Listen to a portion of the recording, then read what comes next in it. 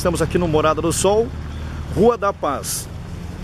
A situação dela que se junta com a Lindo Fiorentin, é isso, né? Isso. Bom, aqui, o que, que aconteceu aqui, Joel? Aqui há tempos atrás caiu um micro-ônibus que transporta aluno, entendeu, Caco? Devido ao declive do calçamento que aconteceu, por falta de tubulação. E, por incrível que pareça, continuam nessa situação. Ó. Faz quanto tempo que esse acidente Vai aconteceu? uns dois anos que isso aconteceu. Dois anos e a situação do, do, do- Continua assim, ó. A sujeita caiu uma pessoa de moto, um cara, a qualquer momento aqui dentro, quer dizer, os vidros não estão nem sendo pontos de encontro, né? E Essa água desce toda da onde? Essa água vem de, de- principalmente da falta de não ter saneamento básico, não ter tubulação no calçamento. Então ela vem das casas, entendeu, Caco? Que são casas que foram feitas a, a, a curto prazo de tempo aqui e não, é, praticamente nem bem planejados, porque a água vem direto para o calçamento. Ela Aliás, qualquer chuva dá uma enxurrada Não, aqui na Rua da Paz e aqui na... É, e vem tudo aqui, ó. Se pegar um dia que chove mesmo, que vem tudo aqui, ó. Pedra, vem tudo que tem dessa rua. Bom, já dá pra ver aqui É, a- as é, pedras aqui, ter- né? Não, isso não foi A nada. dificuldade dos carros Não, subir, olha lá. aqui- isso não é nada, é. Olha, vejam bem. Isso ainda não é nada, hoje tá calmo. Vamos, vamos dar uma olhada aí no veículo subindo, ó. Observe. A dificuldade dos veículos subir aqui, ó. Ó. Olha só. Vamos subir ali para mostrar os buracos também, né? Olha, olha só a dificuldade. Uma caminhonete. Uma caminhonete. Isso é? Vai ter que voltar, olha só aqui. A gente conseguiu um flagra aqui que mostra muito bem a situação aqui do Morada do Sol. ó. Valeu, né? Tá boa a rua, Não deu para subir. tá boa a rua aí, né, galera? Pra tu ver como é que nós estamos É, mas a gente tá situação. lutando aí, assim, a situação tá difícil. Diz que veio 3 milhões pro nosso bar e onde é que tá? Não tem jeito de subir, tem que fazer a volta agora. Vamos fazer a volta aí. Isso que tá de caminhonete, É, né? é, isso que estamos de caminhonete. Imagina se tá de, de carro pequeno. né? Obrigado, viu, Edson? Obrigado. Um abraço, tudo bom. Cuida do bueiro aí, amigo. Vamos ver. Ah, tem mais, o- é, tem mais o o bueiro que ele pode pegar ali, ó. É, veja um problema em cima do outro. Olha aí. A situação dessa rua da Paz. Uma das principais ruas do loteamento Manaus do Sol.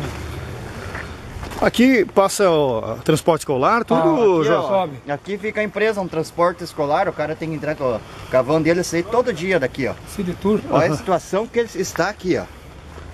Pra sair com uma van aí de dentro. E nós andando, Caco, nós vamos chegar numa esquina onde que tem uma creche que ó- sobe ônibus e besta a todo momento. Olha aqui, ó. Quando aquele carro parou, ó. Ó, Aquele carro tem que descer, Ó, ó. deu pra Dá uma olhada. sinal da. Ele patinou aqui e não conseguiu subir. né? Daí o prefeito disse que nós estamos fazendo tempestade em copo d'água, né? Venha vindo que nós vamos chegar até onde as vans, os micro-ônibus sobem todo dia para trazer alunos até uma creche aqui. Olha aqui, mais uma situação muito precária. Olha. O tamanho do buraco que se formou.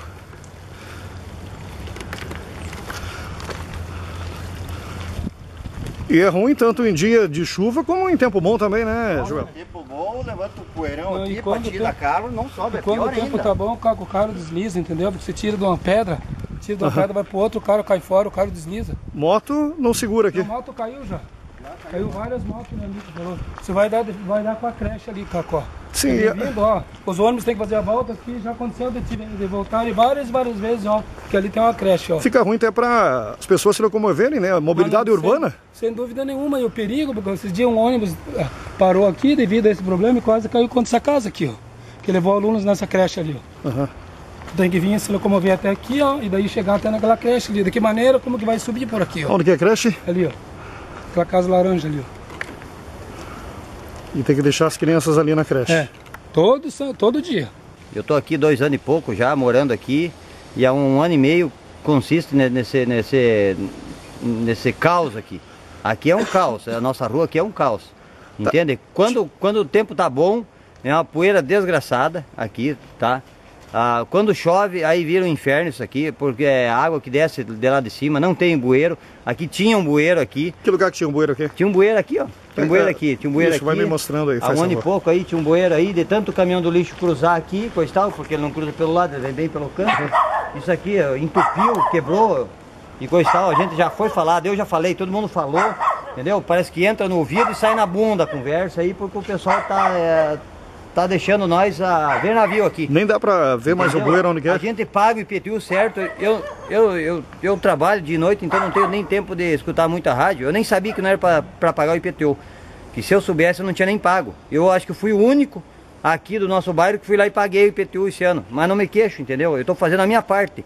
Só acho o seguinte, que o pessoal deve fazer a parte deles, entendeu? Porque a gente colocou aquela tropa lá. Então eles têm que fazer por merecer, entendeu? Eles têm que fazer por merecer. E dá uma olhada aqui, subir aqui. Subir aqui, sobe de, de moto, de patrola, ou de o que, que quiser. Sobe aqui, dá uma olhada aqui. Isso aqui tá o inferno, isso aqui tá o caos. Tá entendeu? É gente caindo de bis, é gente subindo, é a senhora subindo de bengala ali, que tem que subir de, de quatro, de arrasto ali, porque não sobe. Bom, agora a gente tá aqui na entrada do ginásio de esportes da Morada do Sol. Joel Bernardini vai contar pra gente. Caco, A eu história. sou morador aqui quando o ginásio foi construído. Eu moro logo em cima aqui. Desde o começo eu acompanhei. Agora eu acho que vamos convidar você para jogar um esporte com nós e vamos brincar de bola ali dentro do ginásio. Quanto tempo Se foi construído? Ah, já faz uns dois anos. Foi inaugurado? Não foi? Foi concluído? Não foi.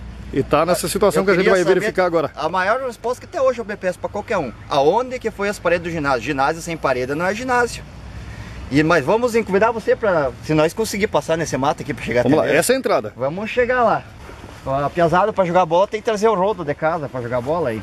Nós vamos concluir agora. E o prefeito disse que o pessoal tá, tá depredando, mas tem que mais que quebrar mesmo, porque isso aqui, Caco, não tá concluído. Mas o- por que, que não concluíram? Você sabe o que aconteceu ou não? Eu acho que o prefeito guardou o dinheiro dele. Pra, deve ter construído uma casa, porque os tijolos das paredes não tem até hoje aqui. Além de vocês não ter um, um loteamento Olha, uma infraestrutura boa, vocês também não têm atividades de lazer aqui, Olha né? esse ginásio aqui, ó. Chove mais dentro que fora. Bom, Ó, começando ó, aqui. ó, já vou começar a ver os banheiros aqui, ó. Ó a conclusão dos banheiros deles. Não, mas isso foi destruído também, né? Foi destruído.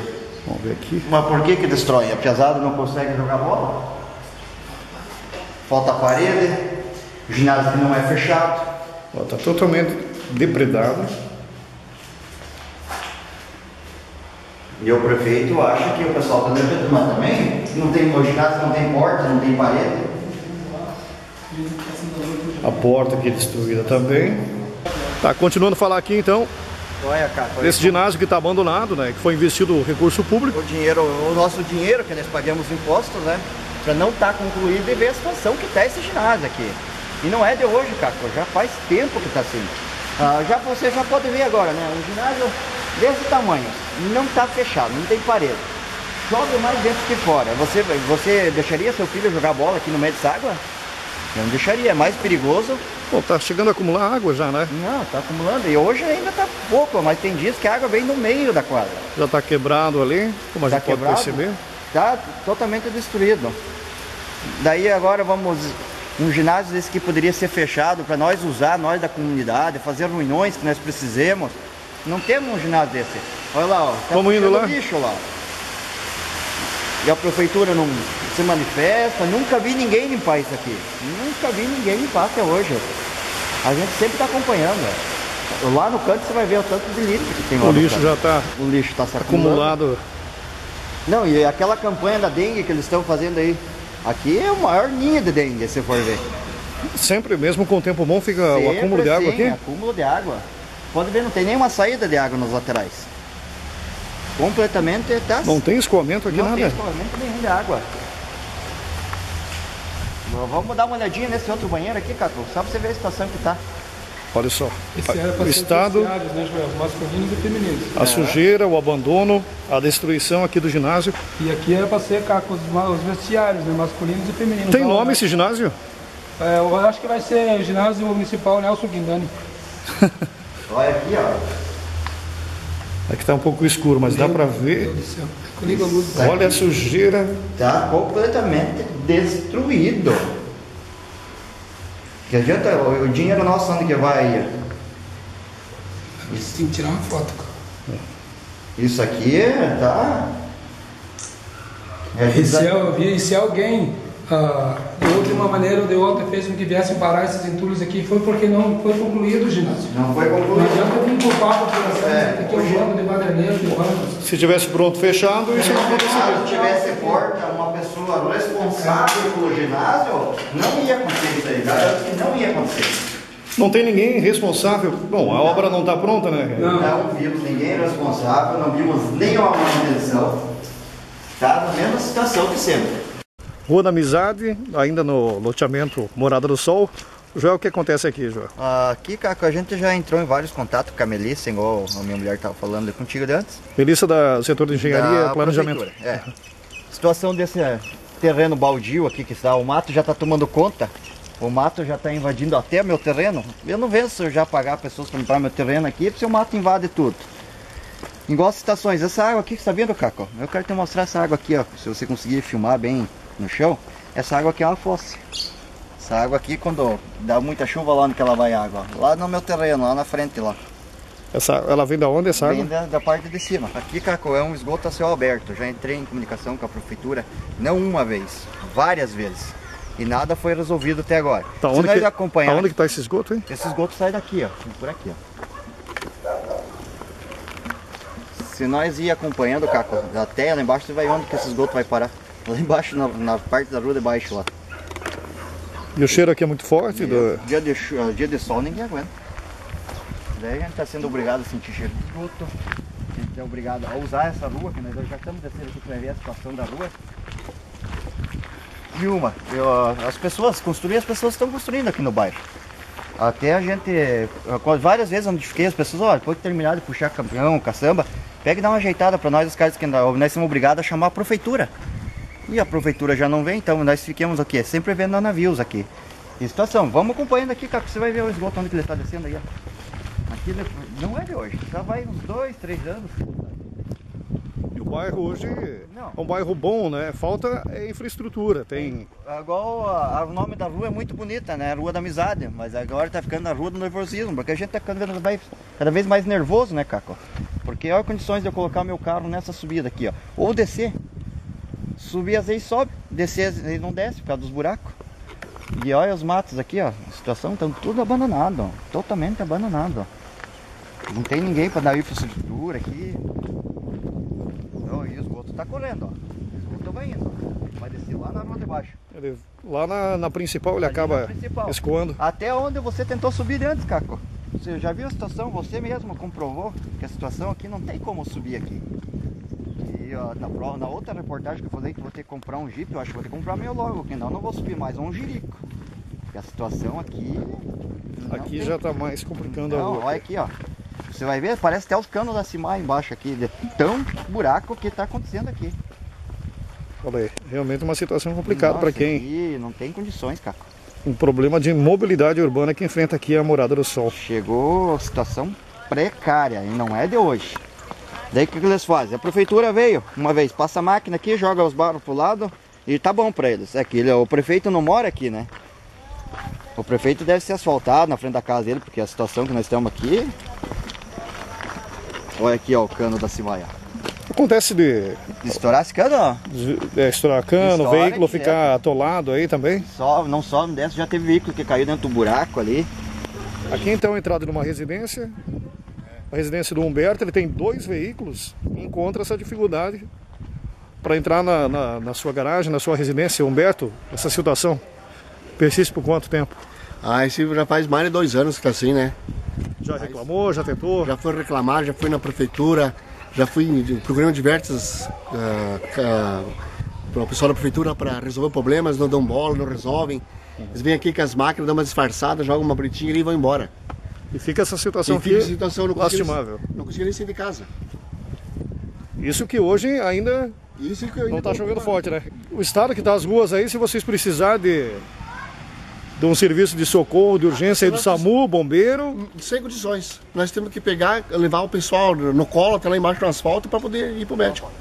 Infelizmente é essa a situação aqui no bairro.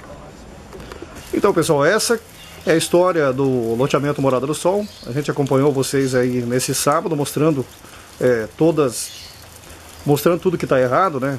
É uma preocupação, uma reivindicação da, da comunidade. E agora o que vocês esperam? O poder está nas tuas mãos, Guindani. Agora é contigo. Eu acho que todos aqueles vereadores que bateram na minha porta pedindo voto aqui prometeram, eu acho que agora eles devem vir pro bairro e ver o que tem que fazer. Não esperar mais um ano passar, dois. A política, a nova eleição está começando, o povo está marcando o que está acontecendo aí.